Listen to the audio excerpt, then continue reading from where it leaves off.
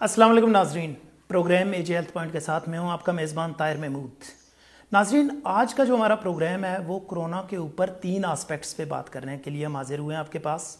हमारे पास एक guest studio में मौजूद है, एक हमारे साथ रावलपिंडी से ऑनलाइन है और एक हमारे साथ कनाडा से मौजूद होंगे। नाजरीन, इन तीनों गेस्ट का अपना अपना परस्पेक्टिव हम आपके सामने रखेंगे। हमारे पास जो गेस्ट्स हैं, उनकी अगर मैं आपको इंट्रोडक्शन दूँ तो हमारे पास इस वक्त जो स्टूडियो में मौजूद हैं ये हैं doctor Abad Ahmad, consultant psychiatrist हैं गंगाराम हॉस्पिटल, लाहौर में। रावलपिंडी से हमारे साथ मौजूद होंगे medical superintendent of Benazir Bhutto hospital, doctor Rafiq Ahmad, और हमारे साथ कनाडा से मौजूद होंगे डॉक्टर असद अब्बास जाफरी। इन तीनों अफराद से हम बात करेंगे कोरोना के ऊपर डिफरेंट टॉपिक्स की और डिफरेंट आस्पेक्ट्स पे।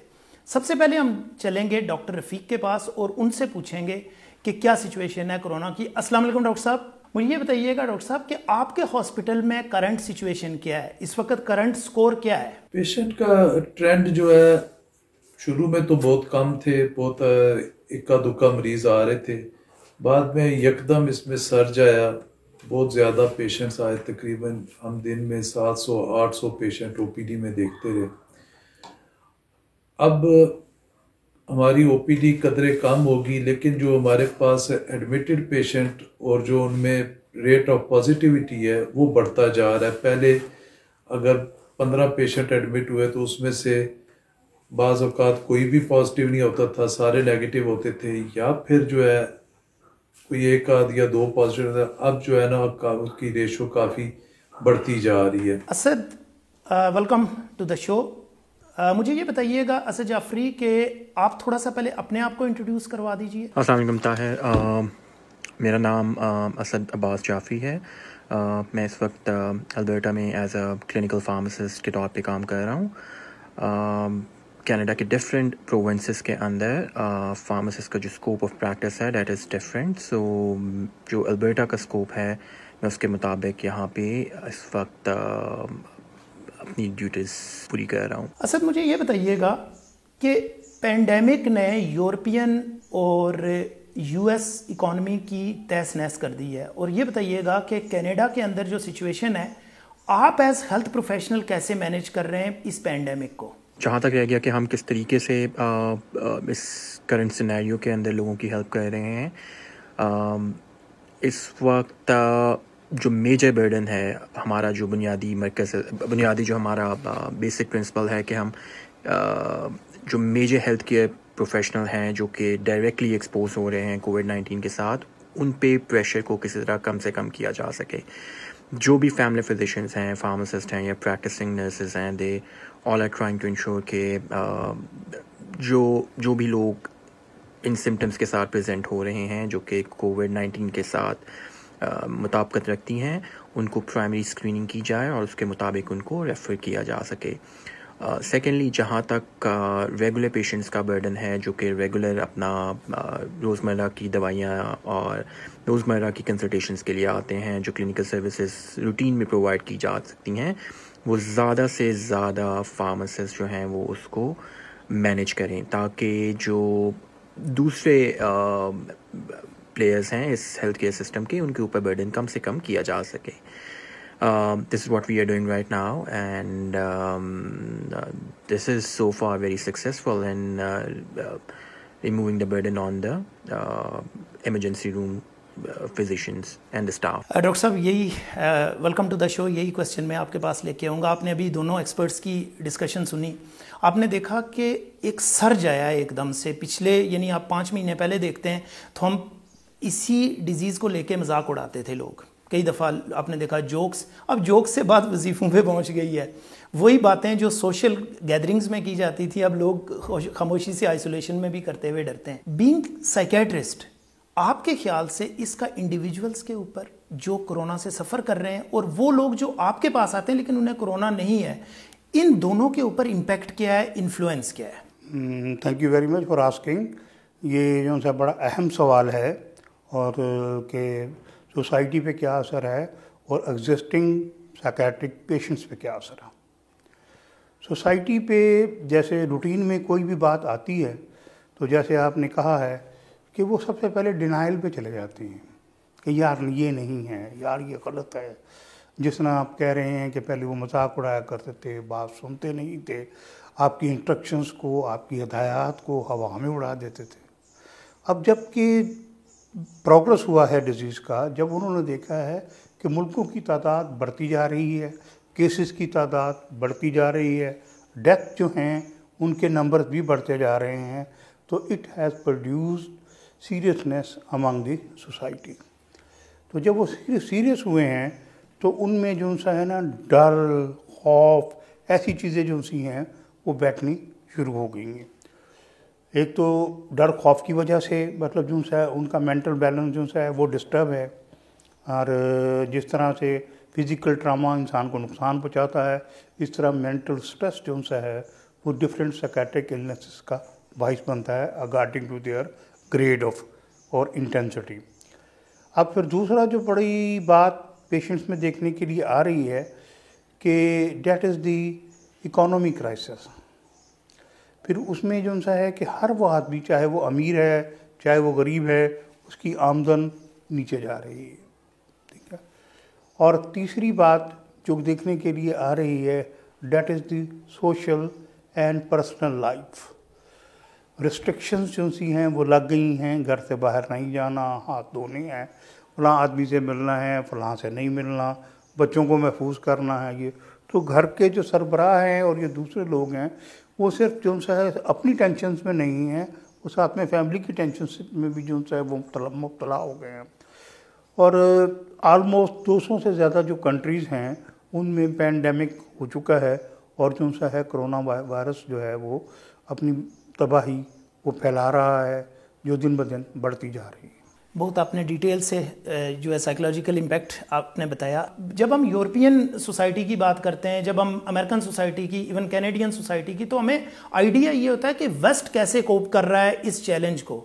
आप मुझे बताइएगा कि इस वक्त जो गवर्नमेंट है, उसकी इंटरवेंशन कितनी है इस तमाम मामले को हैंडल करते हुए? आई नो कि गवर्नमेंट हेल्थ प्रोफेशनल्स के लेवल पे तो कर रही है, लेकिन when it comes to supplies of routine uh, grocery and all other household things how things are being managed? Initially बहुत पैनिक था लोगों को मालूम नहीं था कि क्या हो रहा है सप्लाईज किस तरीके से होंगी।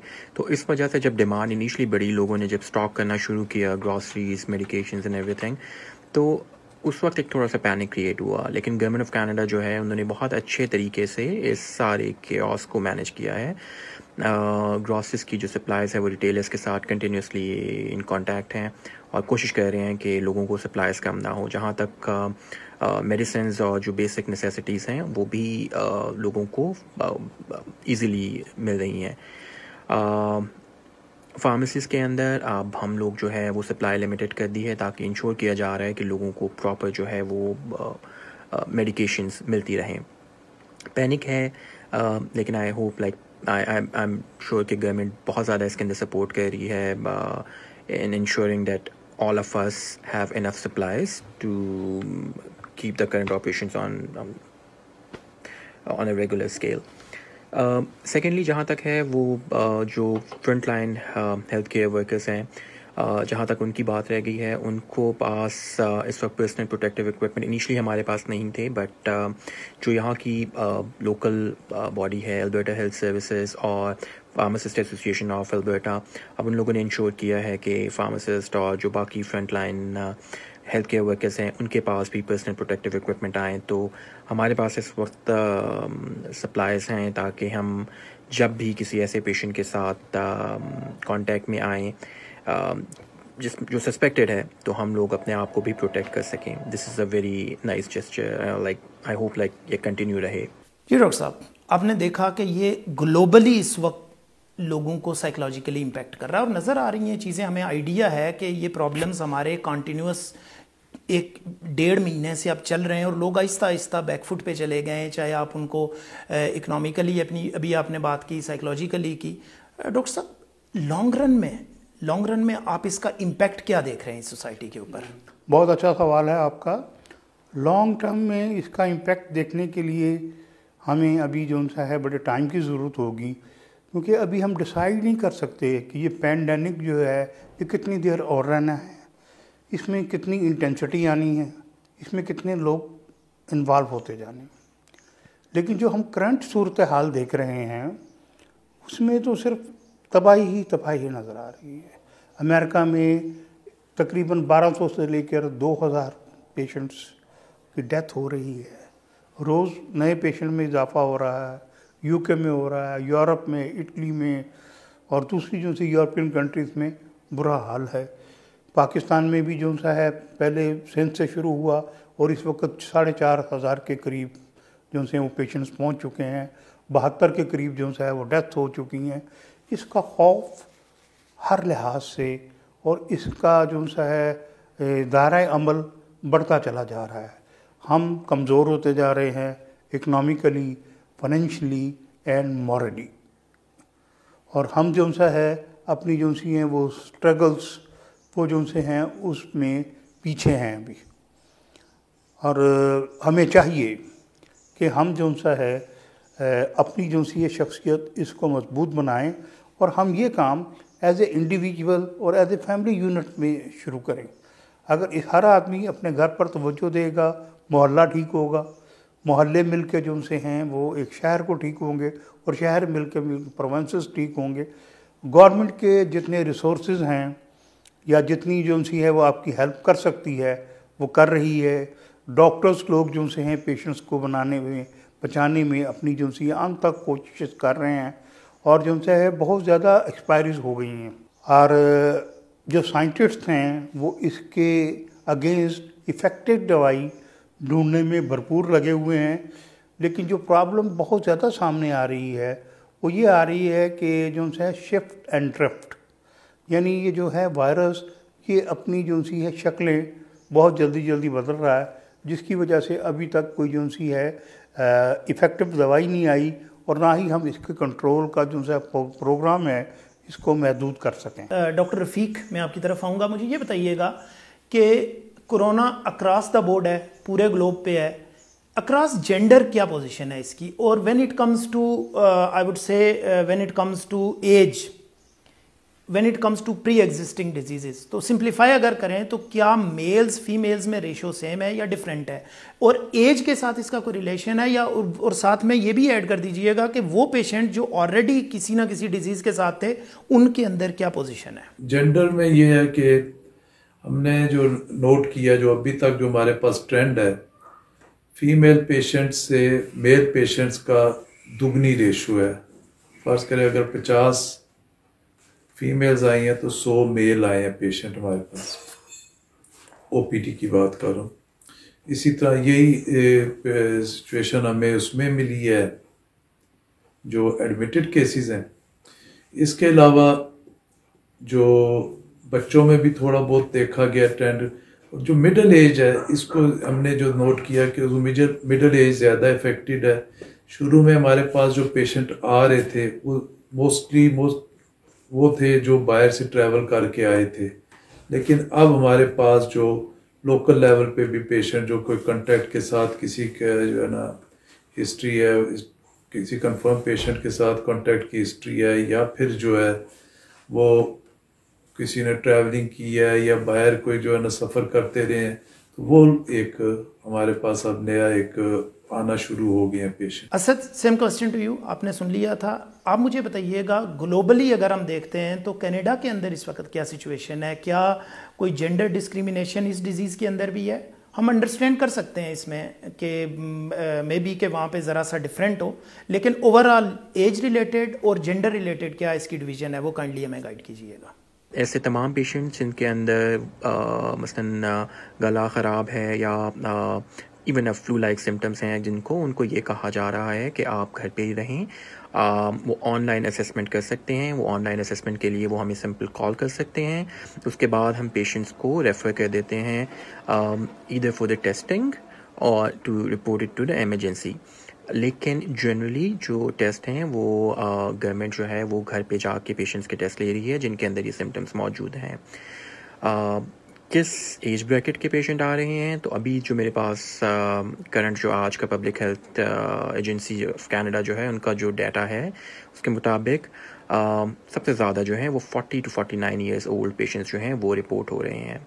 उसके बाद थर्टी टू फोर्टी और फिर सिक्सटी टू सेवेंटी तो तमाम एज ब्रैकेट के लोग इसके अंदर equally they are all are equally susceptible जहाँ तक रह गया प्री एग्जिस्टिंग मेडिकल कंडीशन हैं उनके अंदर या नहीं हैं, हमारे पास अभी वो डाटा अवेलेबल नहीं है, जिसकी बुनियाद पे हम एग्जैक्टली exactly बता सकें कि जो प्री एग्जिस्टिंग मेडिकल कंडीशंस थी, वो कौन सी थी like diabetes any other thing but of course as a general rule they are more susceptible वो ज़्यादा रिस्क के ऊपर हैं compare to the healthy individual but that doesn't mean that um, if you are a healthy young um, adult that you should avoid taking any necessary precautions. जी doctor साहब अभी आपने doctor रफ़ीक की और डॉक्टर असद की बात सुनी।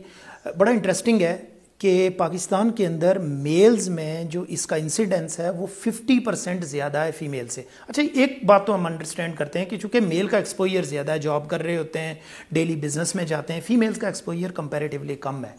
और साथ में आपने जेंडर रिलेटेड देखा कि एल्डरली पेशेंट्स में चांसेस ज़्यादा हैं, लेकिन जॉब करने वाली चूँकि एज 60 से कम होती है तो पेशेंट रिपोर्ट ज़्यादा इस एज के हो रहे हैं।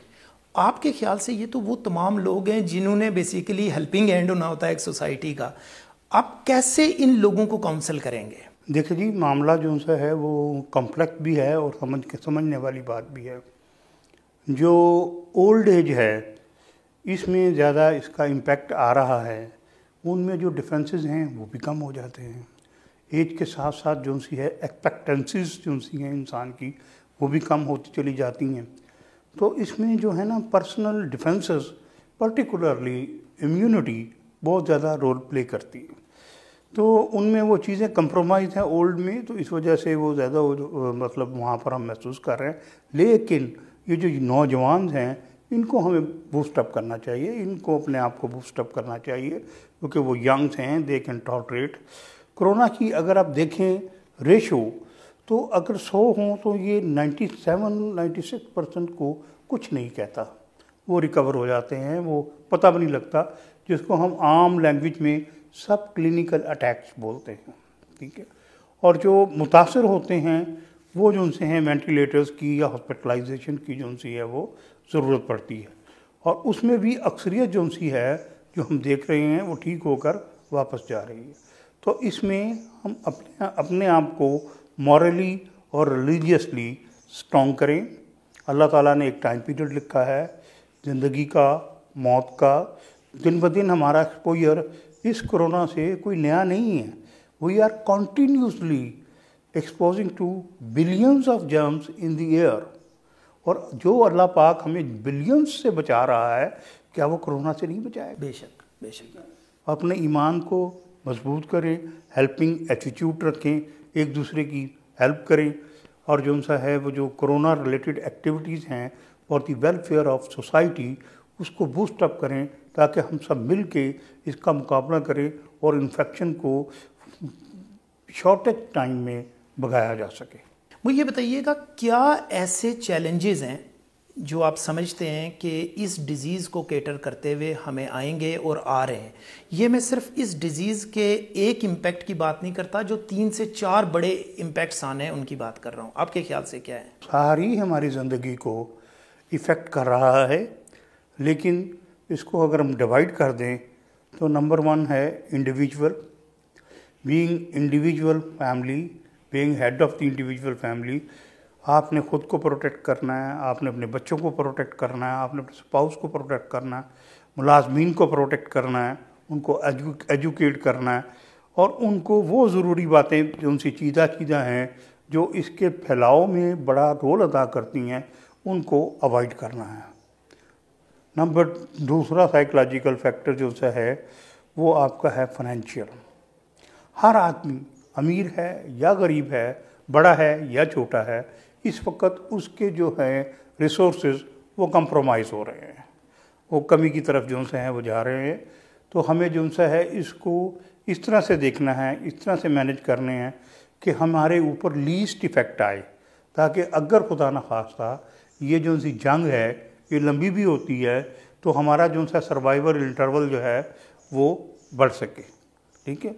और तीस, तीसरा जो सा इसका अहम पहलू जो है जो देखने में आ रहा है, वो सोसाइटी का है। वो है फियर और fear of death fear of disease लेकिन इसमें हमें जितने लोग ठीक हुए हैं, उनका जब इज्तमाही हमने जो सी एनालिसिस की है इज्तमाही जो सा है उनका करेक्टर देखे हैं, जिससे ये पता लगे कि ये दूसरे लोग क्यों मर गए, ये क्यों बच गए। तो उसमें जो तीन चार बातें मेन मोटी सामने आती हैं, वो ये हैं कि वन इज़ बिलीवर वो खुदा पे पक्का यकीन रखते थे। नंबर दो तकवा। तकवे पे उनका पक्का यकीन है। नंबर थ्री सदका। वो रोज़ाना कुछ ना कुछ कुछ ना कुछ सदका जो उनसा है, वो देते हैं, जो सदका जारिया बन जाता है। Number four they help the people even corona की बीमारी में भी वो दूसरों के लिए किसी को फ़ूड पहुँचाना, किसी को जो करना, उन उन चीज़ों पर भी वो तोज्जो देते रहे हैं। तो ये जो सी हैं, हमारी अगर रिलीजियसली हम अपने आप को जो है वो स्ट्रॉन्ग करें तो हमें जो सा कोई बीमारी छू नहीं सकती। क्योंकि वो जो सा है, वो ये जानते हैं कि जो सा है, अल्लाह ने बचाना है। और ये जो सा जब 97 परसेंट जो से 96 परसेंट लोग वो महफूज हैं तो दो तीन परसेंट हैं तो उसमें कोई भी जो सा है वो हो सकता है। और कोई भी आदमी जो आज बच गया तो कल नहीं बचेगा। We have to live the world तो इस बड़े स्पेक्ट्रम के साथ हम चलें ताकि हम इसको जो है अच्छी तरह से बर्दाश्त कर सकें। डॉक्टर रफ़ीक, आपने सुना, डॉक्टर आबाद ने जो बात की कि यहाँ पे इस वक्त जो प्रॉब्लम सबसे बड़ा चैलेंज यही आ रहा है कि फियर फैक्टर प्रिवेल कर रहा है। आप as administrator of a hospital और साथ में आप क्लिनिशियन भी रहे हैं तो आप मुझे बताइए कि आपके पास क्या चैलेंजेस हैं? पेशेंट्स के लेवल पे गवर्नमेंट के लेवल पे ओवरऑल बिहेवियरल इश्यूज़ क्या आ रहे हैं आपके पास? हमें जो फेस करना पड़ रहा है इस वक्त, वो ये है कि लोगों को अभी शूर नहीं उस तरह का कि ये जो है ना क्वारंटीन क्या है, वो इसको एक सज़ा के तौर पे समझते हैं और अक्सर ये देखा गया कि जो पेशेंट कहीं बाहर से आए या ट्रैवल करके आए वो चुप करके अपने घरों में जा के बैठ गए या अपने रिश्तेदारों में घुल मिल गए और उन्होंने पूरे पूरे गाँव को जो है ना ये फैला दी अपनी इस बीमारी को। असल में अगर वो इस क्वारंटीन पे अमल करते, जो हुकूमत की हिदायत पे अमल करते तो ये बीमारी काफ़ी हद तक रुक सकती थी, लेकिन उस पर उन्होंने उस तरह अमल नहीं किया। दूसरा, जो डॉक्टर्स को इस वक्त जो फेस करना पड़ रहा है, हमारे यहाँ पे ये चेंज ऑफ़ सीज़न है। अप्रैल का महीना अप्रैल मई का महीना जो है, इस्लामाबाद, रावलपिंडी में पोलन एलर्जी का सीज़न होता है। तो इसमें अब अक्सर लोग हमारे पास जो ओपीडी में आ जाते हैं, जो रश हो जाता है, वो इस वजह से भी हो जाता है कि लोग जो आम अस्थमा जो है या पोलन एलर्जी के लोग जो होते हैं वो भी आ जाते हैं। यही समझ के कि वो कोरोना है। तो लोगों को बा, बार बार हदायत भी की जाती है हेल्थ मैसेजेस भी दिए जा रहे हैं जगह जगह पे कि हर खांसी ज़ुकाम कोरोना नहीं होता इसलिए परेशान ना हो। अगर कोई आपको खांसी खुश खांसी है काफ़ी लंबे अरसे से चल रही है या उसके साथ आपको बुखार भी है और उसके साथ अगर आपको सांस लेने में दिक्कत हो रही है तो फिर आप उसको सस्पिशन होता है और फिर आपको ज़रूर डॉक्टर की हिदायत लेनी चाहिए और डॉक्टर से मशवरा करना चाहिए। असद, यही क्वेश्चन मैं आपके पास लेके जाऊँगा। मुझे ये बताइएगा कि कनाडा के अंदर आपको एज फ्रंट लाइन सोल्जर इस वक्त कोविड 19 को कैटर करने में क्या प्रॉब्लम्स आ रहे हैं? कौन से चैलेंजेस हैं जो आप समझते हैं कि कोविड 19 को कैटर करते हुए आपको इस वक्त फेस करने पड़ रहे हैं? चैलेंजेस बहुत सारे हैं इस वक्त। एक तो ये कि करंट बर्डन को किसी तरह मैनेज करना है पेशेंट्स का जो इनफ्लक्स है वो बढ़ता जा रहा है। लोग परेशान हैं इस बारे में कि कहीं वो ये इस बीमारी में मुबतला ना हो जाएँ। फिर जो ऑलरेडी लोगों की सर्जरीज प्लान थी, जिन लोगों के प्रोसीजर्स प्लान थे, जिन लोगों के रेगुलर कंसल्टेशंस बुक थी, वो सब कुछ जो है वो कैंसिल हो रहा है। वैक्सीनेशन जिन लोगों की ड्यून थी, सब कुछ डिले हो रहा है। So this is an unseen thing जिसको मैनेज किया जा रहा है तो अब आप उसके मुताबिक ही अपने आप को अमेंड कर रहे हैं। दूसरी चीज़ ये है जो मेरे ख्याल से लोग इस वक्त मेंटल डिज़ीज़ के जो मेंटल डिसऑर्डर्स हैं, वो बहुत ज़्यादा एक पैनिक क्रिएट हुआ हुआ है लोगों के पास। उनको फ़िज़िकल अनसर्टन लाइक बीमारी के मुतालिक अनसर्टनिटी है। फाइनेंशली अनसर्टनिटी उनके अंदर ज़्यादा है। तो बहुत सारी ये चीज़ें हैं जिसकी वजह से वो परेशान हैं और इस वक्त बहुत सारा बहुत वर आई फोसी के फ्यूचर के अंदर बहुत ज़्यादा लोग जो हैं वो मेंटल इलनेसेस के अंदर से सफ़र करेंगे। सो so, उस बारे में भी जो है यहाँ पे गवर्नमेंट बहुत ज़्यादा बात कर रही है ऑनलाइन इस वक्त कंसल्टेशन अवेलेबल हैं साइकेट्रिस्ट की कॉग्निटिव बिहेवियल थेरेपीज़ जो हैं वो अवेलेबल हैं फार्मासिस्ट की कंसल्टेशन अवेलेबल हैं over the phone just to ensure health care workers की फैमिलीज़ के लिए इस वक्त सर्विसेज़ अवेलेबल हैं कि वो किसी तरह की डिप्रेशन uh, या इस फ़ेज़ से ना गुजरें क्योंकि दे ऑल आर स्केयर्ड कि अगर किसी को ये बीमारी में हो जाती है खुदा न खास्ता तो उनके साथ क्या होगा? लाइक पेशेंट आइसोलेशन के अंदर होता है you not even allowed to meet to see your love one so ये बहुत ज़्यादा एक फेयर है जिसकी वजह से इस बात का ख़दशा भी है कि मेंटल इलनेसेस का जो रेशो है वो जो वो काफ़ी हद तक बढ़ेगी। तो वो भी एक है। फिर करेंटली जो लोगों की क्रिटिकल सिचुएशन थी जो वनरेबल पॉपुलेशन है आ, उनके अंदर भी बीमारी होने के खदशात हैं। ज़्यादा ओल्ड होम्स के अंदर जहाँ पे एक दे आर एट रिस्क तो ये भी एक ख़दशा है कि उनको उनकी सेहत का भी ख्याल रखा जा सके।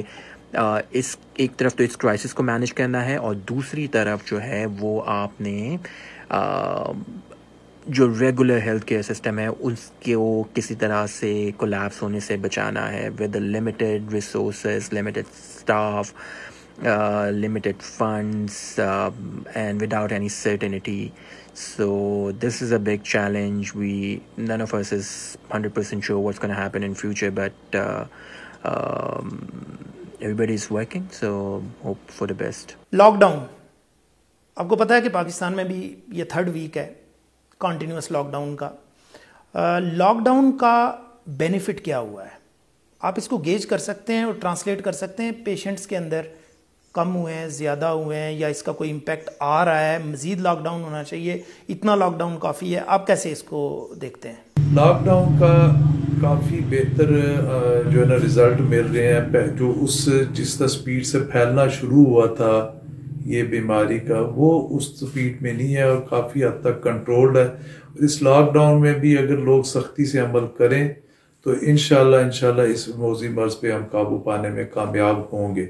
लेकिन लोगों से फिर, जो है, यही है कि इस लॉकडाउन में बाहर निकलने से, बेजा बाहर निकलने से गुरेज करें। कोई बहुत ज़रूरी हो तो ज़रूर निकलें, लेकिन अपने आप को मास्क पहन के निकलें ग्लव्स पहने हो सैनिटाइज़र से हाथ बार बार आप अपने वॉश करते रहें।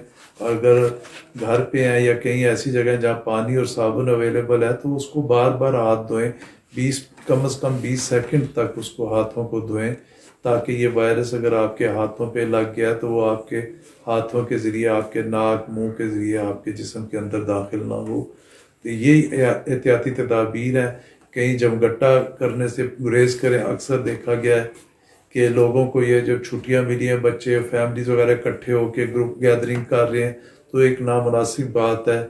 इसमें आप लोगों को चाहिए और अपने अज़ीज़ वकारब को भी ये मैसेज दें कि ये इस तरह इकट्ठा होना मुनासिब नहीं है इस बीमारी में। इस बीमारी में जितना आप सोशल डिस्टेंसिंग एक समाजी फासला रखेंगे, वो आपके लिए मुनासिब है। वो आपके लिए, आपके बच्चों के लिए एक मुनासिब चीज़ है। और जब इस चेन को हम ब्रेक करेंगे, फिर ही हम इस बीमारी पे काबू पा सकते हैं। अदरवाइज़ ये बीमारी बढ़ती जाएगी। उस बीमारी को बढ़ने से रोकने का यही एक तरीका है। वाहिद तरीका इसका जो है, एहतियाती तदाबीर है, क्योंकि एक नई बीमारी है, इसका अभी तक इलाज दरियाफ्त नहीं हुआ, ना कोई वैक्सीन है, ना कोई और टोटका जो है ना, जो मुख्तलिफ़ आप जगह जगह पढ़ते हैं सोशल मीडिया पे सर्कुलेट हो रहे हैं, वो इस काबिल नहीं है कि उन पर अमल किया जा सके, ना उनकी अथेंटिसिटी का इलम है। वो सब थ्यूरीज हैं हाइपोथेसिस हैं। आप उससे गुरेज करें और सिर्फ़ और सिर्फ़ एहतियाती तदाबीर जो आपको दी, बताई जाती हैं हर जगह टीवी पे रेडियो पे इलेक्ट्रॉनिक मीडिया प्रिंट मीडिया और सोशल मीडिया पे भी बताई जा रही है, सिर्फ़ उन पे ज़रूर अमल करें। लेकिन इसके अलावा जो चीज़ें बताई जाती हैं, वो एक थ्योरीज हैं, उनका कोई अभी तक रिलेशनशिप नहीं मिला, इसलिए उन पर अमल करने के बजाय आप जो है, इन चीज़ों पे अमल करें तदाबीर पे इस चेन को ब्रेक करें। इनशाला इनशाला हम इस पे काबू पाने में कामयाब हो जाएँगे। डॉक्टर असद, मुझे बताइएगा कि लॉकडाउन मैंने देखा है बहुत रिलीजियसली दुनिया में इस वक्त इम्प्लीमेंट हो रहा है। How it is working in Canada ji lockdown I think lockdown का डेफिनेटली फ़ायदा हो रहा है। जो इनिशियल केस था कनाडा में पहला वो पंद्रह जनवरी को हुआ था as per public health agency of Canada उसके बाद पंद्रह मार्च के बाद हम लोगों ने शुरू किया यहाँ पे लॉकडाउन करना और वो बड़ा ग्रेजुअली था। Uh, जिसका इम्पैक्ट ये हुआ कि इनिशली तो आपके जो भी केसेस थे वो ट्रैवल रिलेटेड थे। But later on and recently जितने भी केसेस हैं वो अब कम्युनिटी स्प्रेड के हैं। कम्युनिटी स्प्रेड से मुराद ये है कि ये वो लोग हैं जिन्होंने कहीं ट्रैवल नहीं किया, जो किसी ऐसे शख्स के साथ कांटेक्ट में नहीं आए जिसने ट्रैवल किया हो, लेकिन फिर भी इनके अंदर कोविड नाइन्टीन की सिम्टम्स पाई जा रही हैं। लिहाजा इस वक्त जो करंट सिनेरियो है, उसके मुताबिक 28 परसेंट जो है वो travel related covid nineteen symptoms है और 72 परसेंट जो है that is related with the community spread so lockdown जितना जल्दी हो सकता है, बाकी ममालिक को भी चाहिए जहाँ पे अभी तक की बीमारी नहीं आई इतनी। उनको जितना जल्दी वो कर सकते हैं लॉकडाउन उसकी तरफ़ चले जाएँ because there is no other thing that they can do right now कोई एंटीवायरल्स अभी तक, कोई हमारे पास ऐसे एविडेंस बेस्ड ट्रीटमेंट अवेलेबल नहीं है। Vaccine that's gonna take like take a long और तब तक जो है वो आई थिंक काफ़ी ये डैमेज हो चुका होगा। So the only thing to stop this disease is to take precautions that's the only thing doctor साहब लॉकडाउन आपने दोनों प्रोफेशनल्स की बात सुनी कि लॉकडाउन को लोगों ने बहुत रिलीजियसली अडॉप्ट किया है और बहुत रिलीजियसली उस पर अमल कर रहे हैं। अनलकीली आपने भी देखा, मैंने भी देखा कि जिस शहर में हम रहते हैं, लाहौर की अगर मैं बात करूँ तो यहाँ रोड्स पे तीन हफ़्ते पहले कम ट्रैफ़िक थी, दो हफ़्ते पहले बहुत कम हो गई थी, एक हफ़्ता पहले से, और अब हमें ऐसे लगता है कि जैसे लोग तंग आ गए हैं लॉकडाउन से। आप क्या समझते हैं लोगों के बिहेवियर को देखते हुए कि क्या लॉकडाउन एक तो डिज़ीज़ के लिए बेनिफिशियल है और दूसरा बिहेवियरल चेंजेस क्या आते हैं इस लॉकडाउन से? लॉकडाउन से दोनों बातें जो सी हैं वो बहुत ज़रूरी हैं। एक डिज़ीज़ कंट्रोल और दूसरा है बिहेवियरल चेंजेस इंसान आज़ाद परिंदा है। जब कभी भी इसको रोका जाएगा, इसको ब्लॉक किया जाएगा, हमेशा जो सा है ना, इसमें निकल जाने की, निकल पाने की जो सी है इंस्टिक्ट बेसिक इंस्टिंक्ट वो नहीं निकलेगा। वो जैसे जैसे पीरियड बढ़ता जा रहा है वैसे वैसे बंदे जो से हैं, वो जैसे आपने बताया कि जो से है, वो आउट होते जा रहे हैं, बाहर निकलते आ रहे हैं। तो इसमें एक तो ये है कि इंसानी फितरत और दूसरी ये है उस डिप्लीशन ऑफ़ रिसोर्स कि जब डिप्लीट हो रहे हैं, उनके पास जो से पैसे की कमी आ रही है, ज़रूरतें घर में जो सी वो पेंडिंग हो रही हैं तो वो कहते हैं, चलो यार, निकल के थोड़ा बहुत जो सी है, कोई जो रनिंग हो जाए, कोई बात हो जाए, कोई बात बन जाए इसलिए। तीसरा ये है कि ज़रूरियात ज़िंदगी की जो चीज़ें हैं, वो कुछ ऐसी हैं जो आपको नियर बाई मिल जाती हैं कुछ ऐसी हैं जो नहीं मिलती। वो टेलीफोनिक रबता करके या कोई और रबता करके कुछ तरीके से हासिल करने के लिए बाहर जा रहे हैं। और तीसरा ये है कि डिज़ीज़ के लिहाज से तो this is my personal opinion कि लॉकडाउन ज़रूर हो लेकिन सिलेक्टिव अच्छा इससे क्या मुराद है सर? सिलेक्टिव से मुराद ये है कि जैसे आप देख रहे हैं कि जी दो बंदों को हुआ तो पूरा इलाका बंद कर दिया फलां को वो तो पूरा इसको थोड़ा सा इसके दायरे को थोड़ा सा महदूद करें। अगर दो बंदों को हुआ है तो बाकी जो घर के आठ मेंबर हैं जिनको नहीं हुआ उनको बाहर निकालें और दो मेंबर जो उनसे हैं उनको उसी के घर में जो उनसे है वो लॉकडाउन करें। They receive special attention doctor साहब प्रैक्टिकली पॉसिबल नहीं है। नहीं मैं आपको बताऊँ आप आठ बंदों को घर से निकालेंगे दो दो उसके आस्पेक्ट्स हैं। इन्होंने चौदह से चौबीस दिन तो रहना है ना ये तो एग्रीड है। अब इसमें चैलेंज क्या आएगा? चैलेंज ये आएगा वो आठ बंदे कहाँ रहेंगे? अब उनको तो क्वारंटीन नहीं करेगी गवर्नमेंट आप इस तरह भी कर सकते हैं कि उन दो को निकाल लें। अच्छा। उन दो को निकाल लें और जो आपने क्वारंटाइन सेंटर बनाए हैं वहाँ ले जाए। इस पर एक चीज़ मैं आपसे पूछूँगा डॉक्टर साहब आपने पता नहीं ये वीडियोस देखी हैं यानी आज कुछ दिनों से वायरल हो रही हैं। कि जो बंदा आप पिक कर रहे हैं क्वारंटीन के लिए, उसको जिस तरह से वहाँ पे जो एंबुलेंस में रखा जाता है, जिस तरह से उसको साथ लेके जाया जाता है, डॉक्टर साहब, वो इतना खौफनाक मंजर है कि डॉक्टर साहब, इसका मेरे ख्याल से वो बंदा अल्लाह सबको ज़िंदगी दे जो गए हैं, लेकिन उसका, उसकी लाइफ पे बहुत बुरा है। मुझे ये लग रहा है कि वो जो फोर्टीन डेज़ वहाँ पे रहेगा, वो तो हर लम्हे मरता और जीता रहेगा। और आप जानते हैं डॉक्टर साहब कि ये तो जितनी इम्यूनिटी होती है, ये हम तौर पे डिपेंड करती है आपकी अपने स्ट्रेस पे भी बहुत डिपेंड करती है ऐसे ही है सर स्ट्रेस जितना तो आप क्या समझते हैं उस स्ट्रेस से तो उसकी अपनी इम्यूनिटी की ऐसी तैसी हो जाएगी ना चाहते हुए भी। ऐसे ले जाया जाता है जैसे मुर्गे को चुरी की तरफ़ कि चुरी फेरी जाएगी। या कातिल कातिल को फांसी घाट की हाँ, तरफ़। या कातिल की मेरी दूसरी मुँह की बात मेरी। कातिल को आप जो है तख्तावार तक चला कर ले जा रहे हैं। और उसमें जो बंदे के अपने डिफेंसेस हैं वो इस आपकी कार्रवाई में 80 परसेंट ख़त्म हो जाते हैं। और वो जो सा है, वो हार बैठता है। जब आदमी की अपनी पुशअप ख़त्म हो जाए तो फिर जो उनसे है ना, दूसरे फैक्टर वो गालब आ जाते हैं। और वो ऐसे ही समझता है कि जैसे वो कोई अछूत हो गया है, या कोई ऐसा गुनाह, सरदर्द हो गया है, कि जिसकी उसको सज़ा मिल रही है। अब मैंने देखा है कि जो उनसे है, वो अखबार में आ रहा था, एक की बेटी को हो गया तो वो इल्तजा कर रहा है लोगों से कि ऐसा क्या हमने गुनाह कर लिया है कि हमें उससे मिलने भी नहीं दिया जा रहा? तो मैं ये कहूँगा कि जो उसी ने सारी एहतियात को मद्देनज़र रखते हुए हमें अखलाकियात का दामन वो नहीं छोड़ना चाहिए और हमें जो उनसा है अपने रवैये में पॉजिटिव पॉजिटिव थिंकिंग जो उनसी है ना, वो लानी चाहिए। उसको हौसला देना चाहिए कि क्योंकि आपको प्रॉब्लम हुई है तो हम वहाँ ले जाकर आपकी ज़्यादा मदद कर सकते हैं। और आपको ज़्यादा अच्छे तरीके से महफूज कर सकते हैं। तो मेक हिम सेफ़ हाँ हाँ। तो वहाँ पर जाना तुम्हारे लिए मुफीद है। वहाँ पर जो उनसे बीमारी को कंट्रोल करके हम आपको जल्द अपने जो से है रिश्तेदारों में वापस ले आएँगे। तो आई थिंक इस किस्म के रवैये से ये कॉइन की दूसरी तरफ़ है मरीज़ बूस्टअप होंगे। Doctor फिक thank you very much for being with us बहुत शुक्रिया आपने हमें टाइम दिया। आपने जो है ना हमें बुलाया आपका बहुत बहुत शुक्रिया असद लास्ट टेक आपका। मुझे ये बताइएगा कि पाकिस्तान में आप लोगों को क्या मैसेज देना चाह रहे हैं? मैसेज मैं यही आ, देना चाहता हूँ सबको कि एक तो ये कि इट्स टफ सिचुएशन सिर्फ़ जो पब्लिक हेल्थ के लोग हैं जो आपको मशवरा दे रहे हैं उनके उसके ऊपर अमल कीजिए।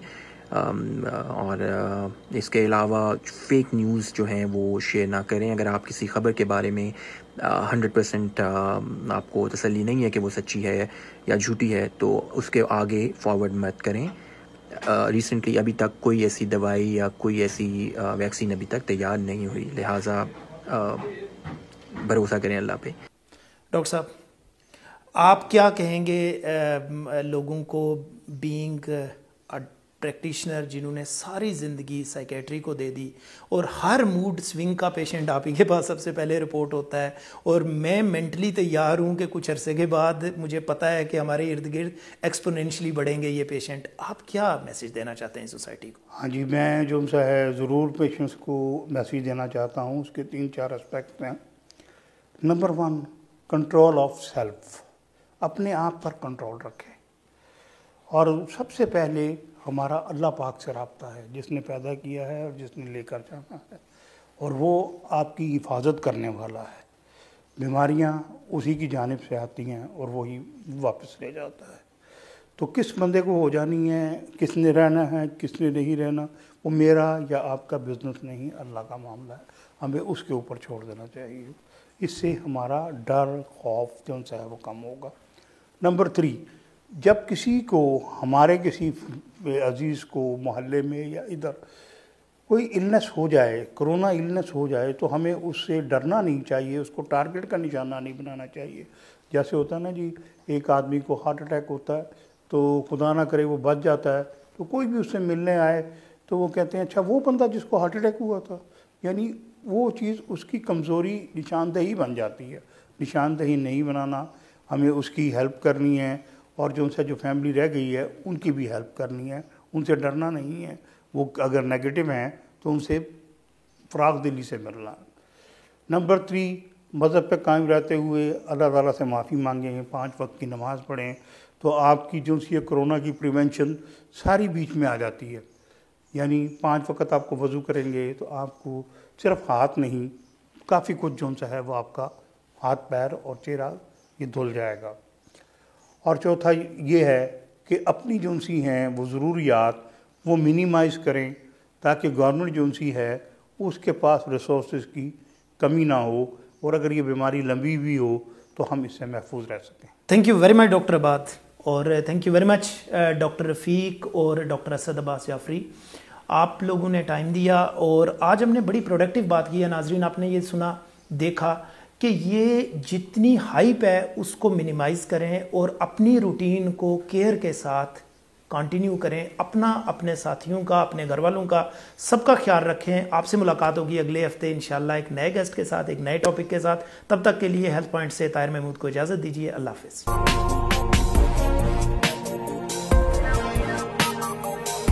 मैं हूँ ताहिर महमूद और आपके लिए लेकर आ रहा हूँ प्रोग्राम एजे हेल्थ पॉइंट इसमें हम बात करेंगे पाकिस्तान में हेल्थ केयर सेक्टर की इंप्रूवमेंट की। हम आपकी बात करवाएँगे हेल्थ सेक्टर के की स्टेक होल्डर से। Patients doctors pharmacies pharmaceutical companies drug regulators and government officials तो देखते रहिए AJ health point